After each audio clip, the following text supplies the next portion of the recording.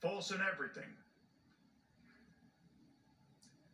In other words, if they're trying to fool you about one thing, not only might they be trying to fool you in something else, but under that maxim of the law, you may conclude they're trying to fool you in everything else. In this forum is at 238, President Trump urged protesters at the U.S. Capitol to, quote, stay peaceful, please support our Capitol Police and law enforcement.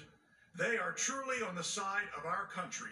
Stay peaceful. And before we run the graphic, I just want to point out to you, President Trump's speech ended at 1:11 p.m. So at 2:38 p.m., by the time word reaches the president that there's a problem down here, he's out urging people to support the police, stay peaceful, support our Capitol Police and law enforcement. They are on the side of the country. Stay peaceful.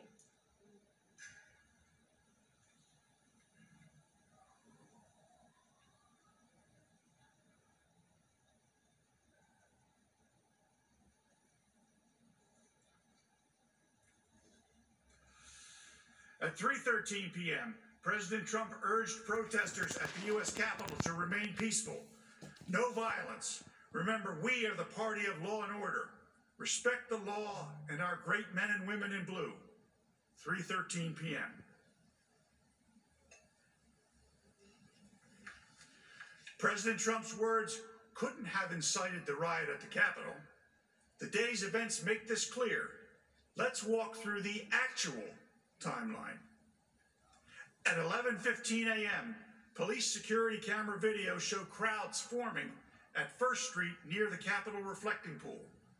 This is a full 45 minutes before President Trump even took the stage on January 6th. Let me repeat that. Violent criminals were assembling at the Capitol over a mile away almost an hour before the president uttered a single word on the ellipse. You did not hear that fact during the hours and hours of the House manager's presentation, did you? When the president spoke, what did he call for? He called for rally attendees to peacefully and patriotically make their voices heard, for them to walk down Pennsylvania Avenue to cheer on members of Congress. President Trump went on for more than an hour, ending at 111. Now, why is this important? Because of all of the events that I am about to describe, they all occurred before, before President Trump's remarks concluded. At 12:49 p.m., the first barriers at the U.S. Capitol grounds were pushed over and the crowd entered the restricted area.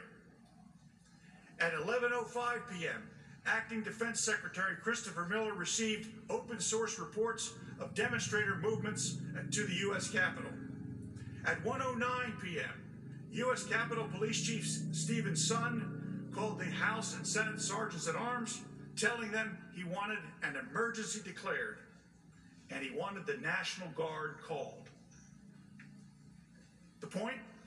Given the timeline of events, the criminals at the Capitol weren't there at the ellipse to even hear the president's words. They were more than a mile away, engaged in their pre planned assault on this very building. This was a pre planned assault, make no mistake, and that is a critical fact. Watch this. Does anyone in this chamber honestly believe that but for the conduct of President Trump, that, that a charge in the article of impeachment, that that attack at the Capitol would have occurred? Does anybody believe that? It was not some sort of spontaneous decision by a bunch of quote protesters to go up to Capitol Hill and, and storm Capitol Hill. This was all planned out. How much of it was was planned? How much of this was strategized ahead of time? They are getting indications, uh, some evidence that they've seen that indicates uh, that there was some level of planning. There appears to be premeditation. FBI internal report the day before the siege warning of a violent war at the Capitol. The FBI issued a warning of a quote War at the Capitol. The FBI warned law enforcement agencies about this specific attack. Be ready to fight. Congress needs to hear glass breaking, doors being kicked in. We developed some intelligence that a number of individuals were planning to travel to the DC area with intentions to cause violence. We immediately shared that information and they pushed out that information through this JTTF structure. It was immediately disseminated through a written product and briefed through our command post operations to all levels of law enforcement. The FBI says two pipe bombs discovered near the Capitol on January 6th were placed there the night before. New video appears to show a person suspected of planting pipe bombs near the U.S. Capitol the night before. The FBI now says the bombs were planted the night before the Capitol siege between 7:30 and 8:30 p.m. They were planted the day before. All go to the idea of premeditation and coordination among individuals. This was a planned assault at going after a castle. So to answer the question of the House manager, does anybody believe that this would have occurred but for the speech from Donald Trump? I do.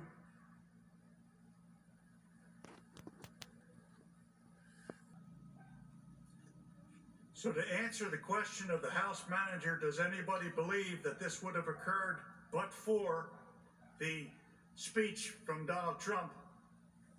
I do.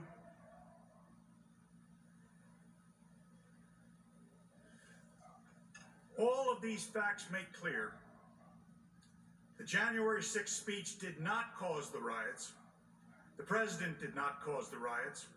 He neither explicitly or implicitly encouraged the use of violence or lawless action, but in fact called for peaceful exercise of every American's First Amendment rights to peacefully assemble and petition their government for redress of grievances. In other words, the Brandenburg Standard is not made out.